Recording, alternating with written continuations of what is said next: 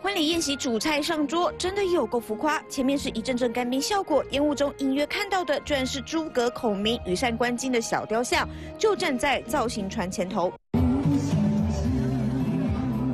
另一个角度看，下面摆满了大龙虾，以南部喜宴规格，当然是一人一只，大家都不用抢。旁边是整颗大西瓜的果雕，以及花椒造型干冰，而这华丽造型的宴客菜还不止一道。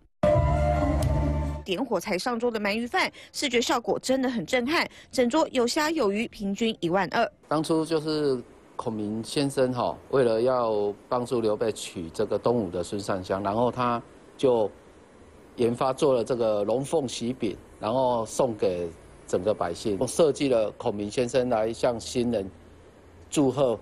业者发挥创意，运用各种道具，把澎湃的海鲜变得更加豪华有故事。高雄还有另外一间异国料理连锁餐厅企业，跨足婚宴后，利用高雄有山有海的特性，把婚宴场所设在宽广的海边、草皮上，以及展览馆跟老房子里。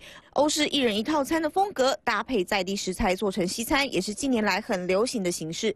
龙虾什么之类的吧？哦，就是一人一只嘛。对，海鲜啊，就是帝王蟹之类的。讲起南部喜宴，大家印象深刻的都是澎湃大方的用料，龙虾、鲍鱼、乌鱼子一人一整只，冰淇淋一人一大桶。现在又加入了道具以及山河海景的场地，让南部霸气喜宴的豪华感又更上一层楼。三顺王少宇黄大卫古仙，台南高雄报道。